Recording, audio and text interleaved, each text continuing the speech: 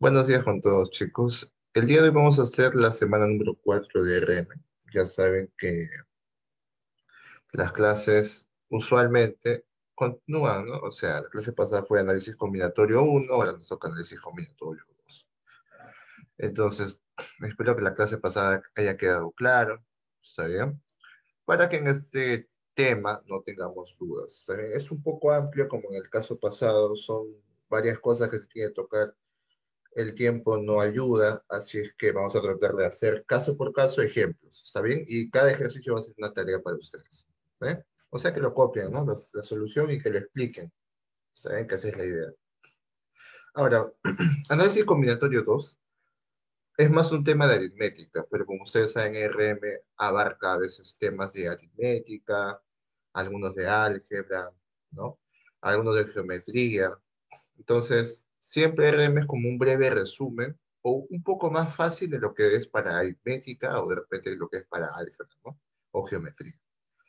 Entonces, análisis combinatorio está muy relacionado con probabilidades, ¿está bien? Tiene una relación muy grande.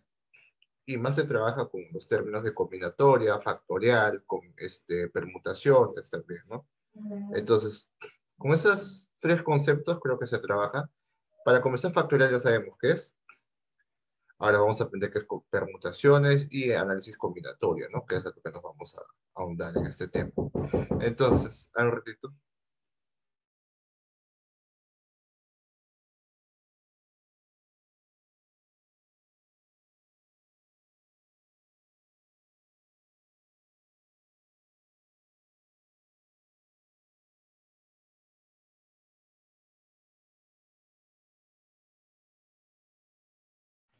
Disculpen, chicos, disculpen. Ahora sí, sigamos. A ver, este... Vamos al, al ahora de, de lo que es importante. Es este, a ver, ¿qué vamos a aprender? Vamos a desarrollar las capacidades, ¿no? Para resolver problemas de análisis combinatorio de manera razonada, ¿no? Más que nada las suyas, ¿no? Porque la idea es que ustedes traten de comprender cada uno de los casos que se va a hacer. Bien, son muchos casos, está bien, pero no son más. Claro, no son más. Con estos casos que van a aprender ahorita, por ejemplo, ya es la base para que comprendan casos más complejos o casos un poquito donde de repente tienes que hacer más. O sea, solamente haces más casos y nada más. O sea, es lo mismo. O sea, ahorita van a entender por qué. Segundo, aplicar adecuadamente los conceptos teóricos desarrollados, técnicas de conteo. ¿no? Eso vamos a aprender ahora. Entonces vamos de frente al tema. En conceptos básicos, lo que vamos a aprender va a ser primero técnicas de conteo, ¿está bien? Que es lo más importante y va a ser lo último, ¿no? Vamos a aprender a contabilizar casos. Por ejemplo, cuando hablemos de permutaciones, ¿no? Vamos a hablar de qué? De que son diferentes arreglos u ordenamientos que se pueden formar con una parte o con todos los elementos disponibles de un conjunto, ¿está bien? O sea, vamos a trabajar con algunos elementos que se tienen, pero de una manera específica, ¿Está bien? Eso tengan mucho cuidado. Cuando hablamos de permutaciones, tenemos que hablar de casos específicos. ¿Está bien? Por ejemplo, existen las permutaciones lineales, ¿no? Dice que son los elementos considerados que están en una línea recta. Y de esta manera tú vas a poder variar. O sea, supongamos que, no sé, pues este, ustedes estén sentados en una línea, ¿no? En una línea recta, ¿cuántos? Cinco, seis personas, ¿ya? Ustedes van a poder cambiar de lugarse uno a uno, ¿no? O sea, de repente él se sienta acá, ¿no? Y la otra tiene que cambiar, ¿no? Pero siempre hay un lugar para cada uno, ¿no? Eso es una permutación lineal, ¿no? Listo. Y ahora, ¿por qué es importante saber qué es lineal? Porque van a haber casos en donde te van a decir, por ejemplo, ¿no? Este, si Juan siempre tiene que estar al medio, si Luis tiene que estar a la izquierda, de repente te ponen así. Entonces tú tienes que permutar dependiendo de las demás personas, ¿no? Que va a ir cambiando. Entonces, por eso es muy importante señalar si es una permutación lineal. Ahora, eh, ¿cuál es la formulita para saber ¿no? el tipo de las posibilidades de cambio, por así decirlo, ¿no? o de las combinaciones posibles que hay? La fórmula es permutación ¿no? de n respecto a k, ¿no? n factorial entre n menos k factorial. Siempre que n sea mayor que k, ¿no? y que k sea mayor que 0. Ahora, ¿qué pasa si se ordenan todos los elementos a la vez? Entonces, K va a ser igual a N. ¿No es así? Entonces, como diríamos, si k es igual a n, sería p, n y n, ¿no? Entonces sería n factorial entre n menos k, que sería n menos n. Pero n menos n es 0. ¿Y cuánto es 0 factorial? 1. n factorial entre 1 es n factorial. Entonces, este es un caso donde se toma todo, o sea, donde no hay restricciones, donde se trabaja con todo lo que te dan, ¿no? Por ejemplo, a ver, en este ejercicio, en la número 1, ¿qué te dicen? Con los dígitos 3, 4, 5, 7, 8, dice, ¿cuántos números de 5 cifras diferentes se podrán formar? Ahora, son 5 cifras diferentes, o son 5 dígitos diferentes, ¿no es así? Este, entonces, ¿cómo lo podríamos trabajar? Entonces, como te están hablando de esta manera, tenemos que decir, a ver, asumes que va a ser linealmente, pues no hay otra forma de ordenarlo. ¿no? Asumes que es linealmente. Entonces, ¿cómo lo haríamos? Como te dicen con cinco, cifras, con cinco diferentes y vemos que son cinco, significa que vas a trabajar con todo. Por lo tanto, vas a usar el de acá, ¿no? O sea, permutación de 5 en 5. ¿Y esta que sería igual? Diferente, ¿no? n factorial es 5 factorial. Si no me equivoco, sale a 120. Sí, ¿no? Me corrigen, por favor, si me equivoco. ¿Está bien? Entonces, nada más. Ahora, ¿pero qué hubiera pasado? Vamos a poner otro caso, ¿eh? ¿Qué hubiera pasado si te, si te dijera, ¿no? Cuatro números de tres cifras diferentes. ¿Ya? Ahí cambia, ¿no? Tres cifras diferentes. ¿Qué hubiera pasado si te ponían tres cifras diferentes? Es otro caso. Entonces aplicas lo mismo. Como te dicen tres, entonces estás agrupando de tres en tres. Entonces, así como agrupas de tres en tres, vas a permutar del total, que son cinco, respecto a, las tres que vas a trabajar. ¿Está? Este es otro caso, por ese caso. Entonces, ¿cómo diríamos? Aplicamos la formulita, pues, ¿no? Sería 5 factorial entre 5 menos 3 factorial. Ahí está. Sería 5 factorial sobre 2 factorial. 5 factorial sería 120, ¿no? Abajo sería 2, sería 60, entonces.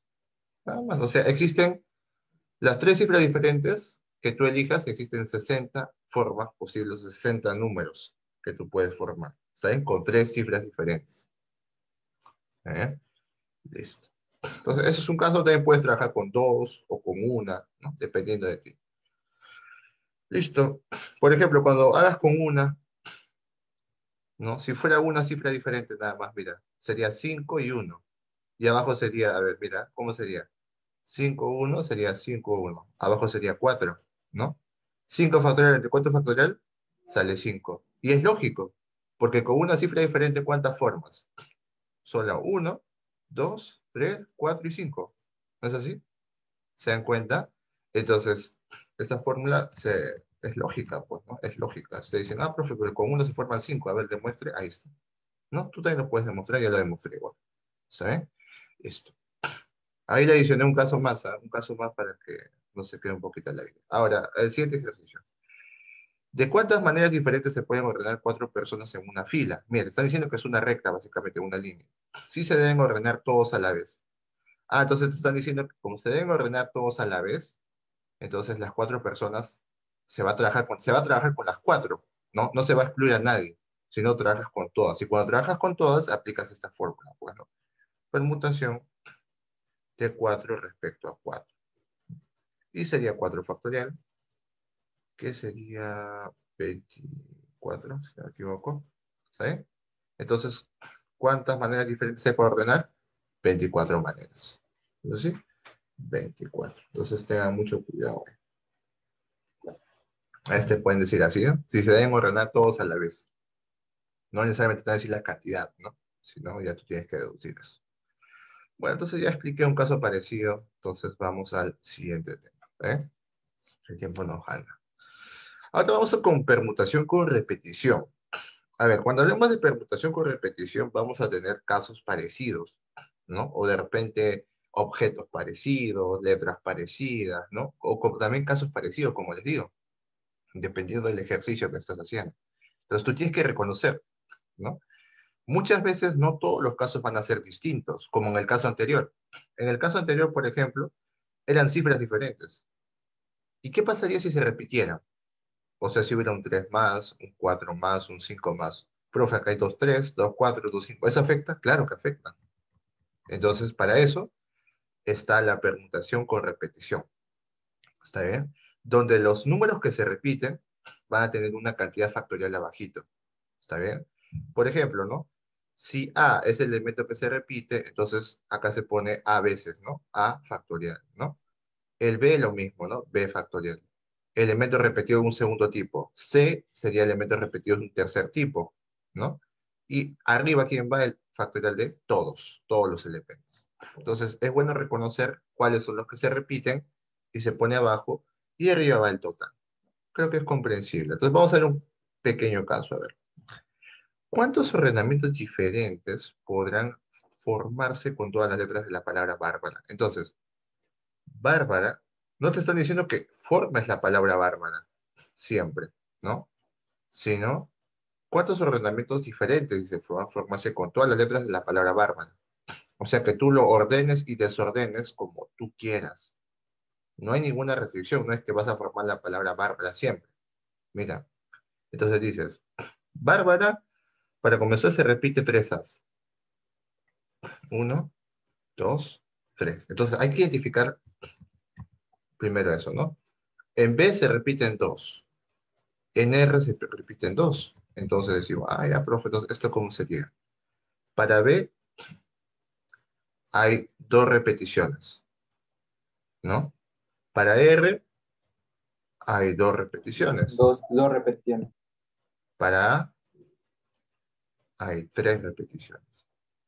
Entonces ya tengo las repeticiones y digo, a ver, si quiero saber cuántas formas pueden formarse, ¿no? De cuántas formas. Entonces contamos primero el total. 1, 2, 3, 4, 5, 6, 7. Entonces decimos, ah, profe, se repite permutación de 7 en total respecto a quiénes? A 2, 2, 3. 2, 2, 3. Y esto sería igual a quién? La profe arriba va factorial de 7 entre 2 factorial por 2 factorial por 3 factorial. Como ustedes saben factoriales, ¿cuánto sale eso ahora? ¿Cuánto sale eso? Ahora necesito un apoyo. A ver. A ver, a ver. A esos chicos que les gusta la clase en vivo, por favor.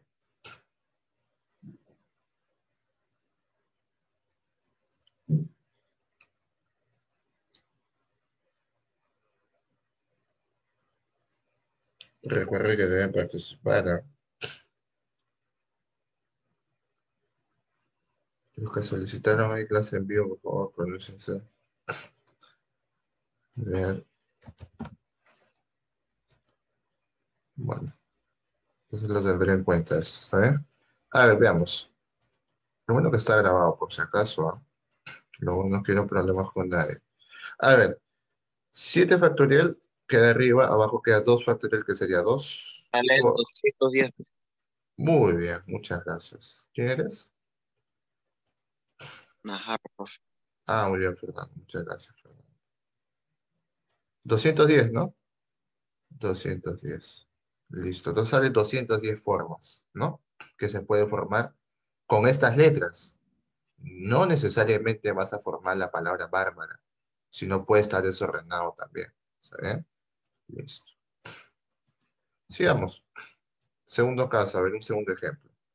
Dice, ¿de cuántas maneras diferentes o distintas se pueden ordenar linealmente 10 monedas, ¿no? Las cuales son 7 de 5 soles y 3 de 2 soles. No importa si la moneda está en posición cara o sello. Ese es un buen dato. Porque si fuera con cara o sello sería un caso extra más. ¿no? Ahora, ¿de cuántas maneras distintas se pueden ordenar linealmente 10 monedas? Es bueno que te digan que sea linealmente, ¿no? Siempre te van a aclarar si es lineal, ¿ah? o en fila, o en columna, ¿no? Entonces, cuando te digan linealmente, recuérdate de permutación con repetición de esta manera. Si no es lineal, ahí ten cuidado. Ahora, te dice que son 10 monedas, las cuales 7 son de 5 soles, o sea, se está repitiendo. O sea, veamos, sería una 7 monedas de 5 soles. 3, 4, 5, 6, 7. Y son 3 de 2 soles. 1, 2 y 3. Por lo tanto, ¿qué digo? Se repiten por aquí y se repiten por acá, ¿no? Serían 7 y 3 veces, ¿no? Entonces, ¿qué decimos? Si quiero saber cuántas son, no de cuántas maneras distintas, fácil, sería permutación del total, que sería 10 monedas, respecto a las que se repiten, que sería 7 y 3. Como no me importa si es caro o sello, entonces no hay problema. No hay problema. Simplemente resuelvo. Sería Profesor, si fuera caro o sello, te lo multiplico por 2 abajo, ¿cierto? Claro, lo multiplicas por 2. Sería una multiplicación por 2, ¿no? Esa es aparte. ¿eh? Esa es aparte. Pero muy buena Está bien. Ahora, eh, esto de acá, si no me equivoco, sale... A ver, 10 factorial, 7 factorial, 4 factorial sería... 120, mm, mm, mm, si no me equivoco. ¿Algún truco, profe, para sacar la perfecta factorial? Ah, ya, esto de acá, ya, la clase pasada les enseñé, pues, ¿no? Por ejemplo, acá dice 7 factorial. Profe, se los puede hacer. Dime, dime. Se lo puede hacer paso por paso para poder entender un poco bien. ¿Cuál es esto? O... Sí, profe, no lo entendimos. Sí, sí, ese. Ya, eso hicimos la clase pasada, por si acaso. Por si acaso. ¿Saben? Tienen que repasar. ¿eh? A ver. Ya, para que vean, profe, muchas clases pasadas eso. Ya, acá está, ya. Ahí está. Factorial de un número. ¿No? Cuando un número factorial se multiplica del 1 hasta cuánto, hasta el número que te dicen ahí. Ahí está. Ahí está. ¿No? Hemos visto casos, hemos visto ejercicios acá también. ¿no?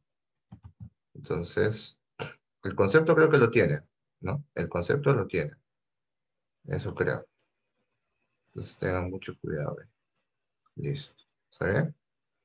El concepto que voy a decir ahorita, no voy a explicarlo mucho, sino voy a ser directo también, ¿no? Se supone que están repasando. Entonces decimos, a ver, como abajo hay un 7 factorial, y yo quiero eliminar el 7 factorial, hago esto. Sería 10 por 9 por 8, y luego me detengo y digo, si me detengo acá, puedo multiplicarlo por un 7 factorial. ¿Por qué? Porque el 7 factorial se multiplica hasta el 7, ¿no? Y sería por 8, por 9, por 10. ¿Por qué hago esto? Porque puedo simplificar acá y acá. ¿no? Y abajo digo, ¿cuánto es 3 factorial? 3 por 2 por 1, ¿no? O sea, sería 6. Eso sí. Y luego acá dividimos, ¿no? 10 por 9 por 8 entre 6. Le sacamos la mitad. A ver, voy a hacerlo paso por pasito para que vean. Mitad 3, mitad 4, tercia 1, tercia 3. O sea, sería 120, ¿no? 3 por 4 por 10, 120. O sea, existen 120, 120 formas posibles, ¿no? Ahora, es muy importante, muy, pero muy importante, que te digan si es, está en posición cara o sello. Como en este caso no importa, entonces no hay problema. ¿Está bien? No hay problema. Pero ¿qué ha pasado si importara? Si importara, multiplicabas por dos. ¿Por qué? Porque son dos casos. Ahora, también hay que tener cuidado con eso, ¿no? Porque puede ser variado también, ¿no? Ahora, como son solamente dos caritas, no hay problema. Ahorita vamos a ver un caso muy particular en permutación circular, que es muy parecido, ¿ya? Eso vamos a ver ahora. Entonces, siguiendo con la clase, porque, como les digo, son distintas, distintos casos, ¿no? Vamos a ver permutación circular. Ya vimos permutación lineal. Permutación circular es fácil. ¿Saben? Porque es una fórmula directa. Si tú tienes una cierta cantidad de objetos alrededor de un círculo y quieres ordenarlos, ustedes se acuerdan que hemos hecho ordenamiento circular. De personas que se sientan, pues, ¿no? Frente a frente, ¿no? Y les decía, ¿no? De repente hay seis asientos, ¿no? ¿De cuántas maneras se pueden sentar seis personas, ¿no? En una mesa circular. Fácil, con la formulita de acá. Permutación circular respecto a la cantidad total es igual a cantidad total menos uno factorial. Nada más. O sea, si son seis personas, ¿eso que sería igual? A 5 factorial. ¿Sí? Si fueran 10, 9 factorial. ¿No? Si fueran 12, 11 factorial. Directo. Eso sí, directo. Ahora, ¿pero qué pasa si las personas tienen que quedarse en su mismo lugar. Entonces, ahí es otro análisis. Ahí es otro análisis. Entonces, vamos a ver esos casos con unos ejercicios, ¿eh? con unos ejemplos. Miren, si te dicen de cuántas maneras distintas siete amigos se ubican alrededor de una mesa a tomar helado, ¿sí, no? Si tres de ellos siempre deberán estar juntos. A ver, entonces en este caso, ¿cómo lo haríamos? A ver, ¿cómo lo haríamos? Se está poniendo una condición, ¿no? La condición es que todos tienen que estar juntos. O bueno, tres, ¿no? Tres tienen que estar juntos. A ver, ¿cómo lo haríamos? Primero ubicamos, a ver, a los siete. Uno, dos, tres, cuatro, cinco, seis, siete. Ahí está. Siete personas. Son siete amigos. Pero te están diciendo, profe, que tres de ellos tienen que estar juntos. Entonces, cuando tengas este tipo de casos, lo que tienes que hacer es agruparlo. Y lo agrupas normal. Y vas a agrupar a esos tres en uno solo. Ahí está. Lo agrupaste. Ya, ¿y eso qué pasa, profe? Eso representa a una persona. ¿Por qué representa a una persona? Porque estas tres personas se van a quedar en, ahí juntas, o sea, no van a cambiar su posición, no se van a mover en otro lado. Entonces, es mejor que tú las consideres que están juntas y no se mueven. Ahora, profe, pero él se puede sentar acá. Él se puede sentar acá. Ah, claro, acá hay otra cierta combinación, ¿no? Entonces, eso lo vamos a adicionar. ¿Cómo? Primero hay que analizar el caso circular y luego el caso particular. ¿Está bien? Entonces decimos, la permutación para este caso, ¿cómo sería? Si tú quieres saber el número, el número de maneras distintas o formas que existen en sentarse, sería así. Primero, ¿cuántas personas consideraría? Usted me dijo que esto va a ser una persona. Sí. Entonces acá son una, dos, tres, cuatro y cinco. Así es. Entonces sería una permutación circular de cinco. ¿Está bien? De cinco. ¿Por qué? Porque esto es una persona para mí. ¿No? Por lo que está acá adentro, ¿no? Como son tres, entonces va a, ir una, va a haber una variación de tres en este caso, que sería, si no me equivoco, ahí está. Si no me equivoco, sería 3 factorial. ¿no? sería 3 factorial. ¿Por qué? Porque está variando lo que está dentro, ¿no? De 3 en 3. Listo. Ahora, eh, acá fácil, pues, ¿no? Permutación circular de 5 sería 4 factorial por 3 factorial. ¿Esa P sería igual? A, a ver, se lo dejo a ustedes, ¿ya? Ahora vamos a ver. No sé si responde por ahí uno de ustedes.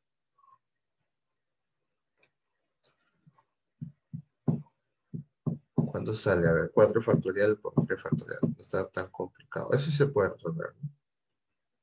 144. Muchas gracias, hermano. 144. Entonces, existen 144 maneras distintas en las que los siete amigos se pueden ordenar, ¿no?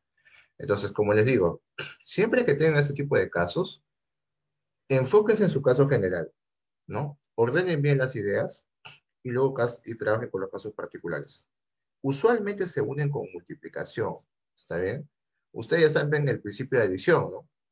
Principio de adición, principio de multiplicación. Profe, acá se aplica, obviamente, este es el principio de multiplicación. Ese principio de multiplicación y adición se usa RM, aritmética y física usualmente. ¿Está bien? Entonces, ¿cómo se aplica el principio de multiplicación? Porque se pueden combinar. Y como se pueden combinar estos cinco con estos tres, entonces es una multiplicación, ¿no? No es ajeno. Si fuera ajeno sería una suma, ¿no? ¿También puede haber casos de suma? Claro que sí, dependiendo del ejercicio. ¿Está bien? Listo, entonces espero que haya quedado claro. Usualmente los ejercicios de permutación circular son así, no son tan directos, ¿no? No son tan directos. Ahora, vamos al último ya que es combinaciones, ¿no? Combinaciones. En este caso me dice, ¿cómo profe se trabaja combinaciones? Es cuando no importa este, los elementos cómo están este, posicionados, ¿está bien? Ni tampoco si son diferentes, ¿no? No importa en este caso. Tú haces una combinación respecto a un total con un grupo, ¿no? Entonces, eso es un poco más específico, ¿no? Con una cierta cantidad de grupos se trabaja. Entonces, para entender este concepto de combinatoria, vamos a hacer un, un ejemplo. Pero antes hay que saber la formulita. Cuando hablamos de combinatoria respecto de n a q, es igual a quién? A n factorial entre k factorial por n menos k factorial. Teniendo en cuenta que k es mayor o igual que 0 o que n es mayor o igual que k. ¿Está bien? Entonces, acá vamos a hacer unas propiedades, unas propiedades que de repente les va a servir a ustedes.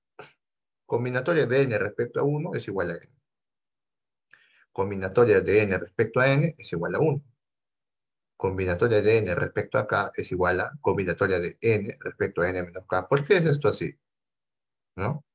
Porque si tú lo reemplazas, te va a salir lo mismo. ¿Está bien? Esto es una propiedad que a veces te sirve, a veces te sirve.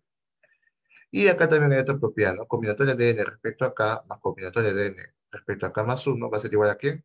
Combinatoria de n más 1 respecto a k más 1. Acá hay, acá hay como, digamos, propiedades o formulitas que te pueden servir, ¿no? Que se demuestran.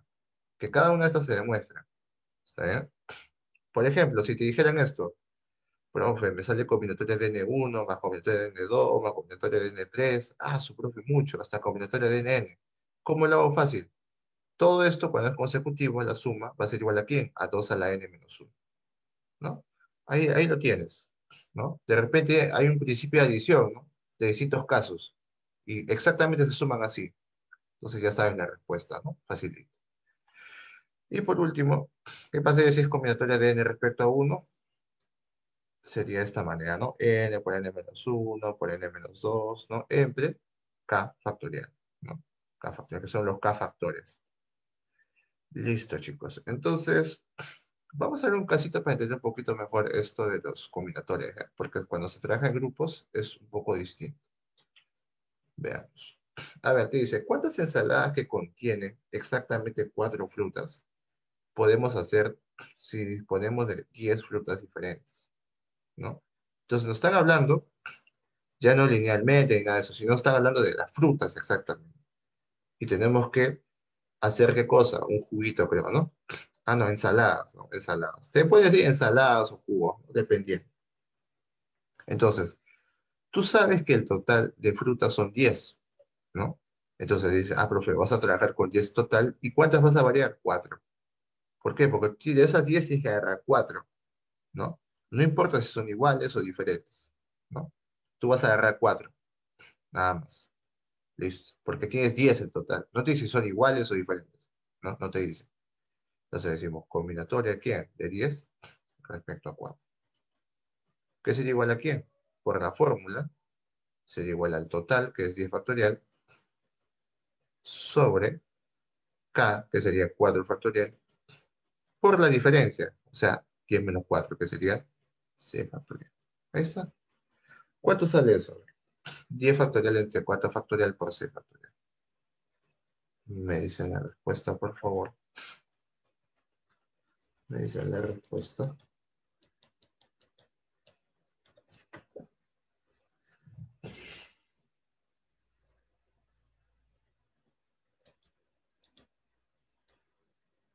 A ver, me dicen sus respuestas. 210, profe. 210. A ver, vamos a ver. Vamos a corroborar. 10 factorial de que es igual. Si lo quiero simplificar acá sería 10 por 9 por 8. Profesor, yo lo profe simplifiqué 6, profe. Claro, muy bien. ¿no? Por 6. Ahí está. 4 factorial por 6 factorial. Entonces 6 factorial se simplifica, se divide. Chao, chao. Y acá 4 factorial sale, si no me equivoco, 24, ah, si no me equivoco, ¿no? 24. Y arriba podemos simplificar. Voy a, voy a hacerlo de frente. ¿eh? Lo voy a poner acá. 24 para no ser problema. 24. Y simplifico, ¿no? Octava, octava, te queda 1, te queda 3. Tercia, tercia, te queda 3, te queda 1. O sea, sería 10 por 3 por 7, 210. Muy bien. 210 maneras distintas de hacer ensalada, ¿no? ¿Con qué? Con cuatro frutas, ¿no? Con cuatro frutas respecto a 10, obviamente. Ahora, el último ejercicio ya, el último ejercicio. ¿Cuántos triángulos pueden formarse, ¿no? Tomando tres de los 12 puntos tomados en la figura. Ahora, te dicen que el de 1 es paralelo al de 2, ¿no? A ver, Te dicen, ¿cuántos triángulos pueden formarse tomando tres de, las dos, de los 12 puntos? ¿No? A ver, si tú quieres formar un triángulo, ¿cuál es el concepto? Que tenga tres, Tres lados. pues. tres lados o tres vértices. ¿No? Entonces, para este caso, profe, si yo quiero formar un triángulo, por ejemplo, necesito tres vértices. O sea, esto de acá. ¿No? Es un caso. O de repente, este de acá, profe. Ah, verdad, profe. Entonces, existen muchos casos, ¿no? Pues sería este, este, este, este. Entonces, hay muchos. Ahora, ¿cómo hago? Y no solamente de arriba, de abajo arriba, sino también puede ser de arriba abajo. Así, así, así. O sea, son muchos los casos. Entonces, lo que tenemos que hacer acá, al parecer, es hacer una combinatoria respecto a otros. ¿Cómo lo haríamos? A ver. Para comenzar, siempre nos damos cuenta que la base, o sea, debemos tomar dos, ¿no? Por ejemplo, acá agarramos dos. Dos, dos, ¿no? Entonces vamos a analizar respecto a eso, ¿ya? ¿Qué significa? Que la combinatoria va a estar respecto, o sea, la combinatoria, por ejemplo, para el caso de abajo, que son siete puntitos, va a estar respecto a quién? A dos. ¿Por qué? Porque estás agarrando de dos puntos como base, siempre. Para, para formar un triángulo, agarra de dos en dos. Entonces, sería combinatoria de 7 respecto a 2. Ahora, ¿cuál es el problema? Eso sería normal si solo si fuera independiente. Pero, pero, como depende de estos puntitos, ¿cuántos puntos hay? 5. Y como se combinan con ellos, aplico el principio de multiplicación. Entonces sería combinatoria de 7 de 2 por 5. ¿Por qué? Porque son 5 los puntos, ¿no? Y los puntos son inamovibles, ¿ah? Porque te están dando el ejercicio. Como te dan el ejercicio, no puedo decir 5 factorial. O sea, no puedo decir, ah, él se mueve acá, él se... No, porque ya está definido aquí. Entonces tengan mucho cuidado ahí, ¿eh? Sería 5 factorial si solo si se podrían variar. O sea, él se cambia acá, él acá, él acá, ¿no? Existen muchas posibilidades de cambio. Entonces, tengan cuidado. En este caso no pasa eso. Entonces sería más. Sería lo mismo para el otro caso. Acá también puede ser así, así, así. Entonces sería como, como se agrupa de 2 en 2, lo mismo. Combinatoria de 5 respecto a 2 por, en este caso, ¿quién sería? Como son 7 puntitos, sería por 7. Ya está. Y resolvemos lo de acá, que sería combinatoria de 7 respecto a 2. A ver, sería 7 factorial sobre 2 factorial por la diferencia, que sería 5. Por 5. Más. Igual acá sería 5 factorial sobre 2 factorial por 3 factorial por 7. ¿no? ¿Cuánto saldría eso? A ver, en el primer caso sale al ojo 105 creo. Más 21. 21 sale acá. No, acá, acá se lo creo. No, profe, en el primer, profe, en el primer caso, de 7 factorial. Ah, claro, pero por 5, 105, pues, ¿no? Así. Sí. Muy bien. Está muy bien, está bien. Ya, entonces sería, está bien, ¿no? Sería 175. ¿Está bien? Listo, ¿no? Así es. Bueno, chicos, entonces, eso sería todo por hoy. Este, se reconectan por favor la asistencia. Ya saben cuál es su tarea, ¿no? Se reconectan por la asistencia, ahorita se cierra el Zoom.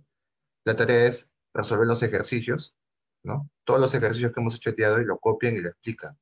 ¿Saben? Me ponen una explicación para cada ejercicio, por si acaso, con su Y, solución. profesor, ¿algún, profesor, ¿algún tip, profe, para reconocer al toque qué propiedad usar? Sí, sí, ahorita te reconectas, ¿sabes? Te reconectas para decir que se acaba. De repente se me acuerda, ¿sabes? Se Ya, profe, reconecta. listo. Listo, se- nos reconectamos.